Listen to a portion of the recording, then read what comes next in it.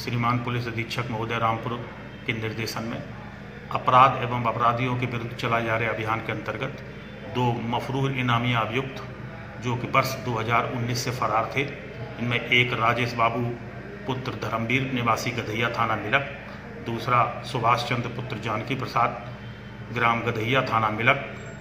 दोनों अभियुक्तों पर पच्चीस पच्चीस हज़ार रुपये का इनाम था। थाना मिलक पुलिस द्वारा गिरफ़्तार करके इनको जेल भेजा जा रहा है।